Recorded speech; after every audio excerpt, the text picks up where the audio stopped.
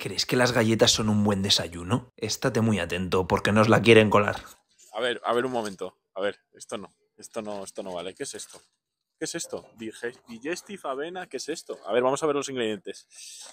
Creo que digestivo tiene poco esto. A ver, copos de avena, harina de trigo, aceite vegetal, azúcar, poco digestivo, la verdad. Inflamatorio, muy concentrado en carbohidrato refinado y muy alto en azúcar. ¿Qué me No, dices? No, no lo tomes, no lo tomes.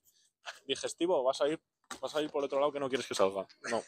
Bueno chicos, esto era una broma y es que yo sé que un desayuno bueno tiene que estar compuesto de una base de proteína y grasa.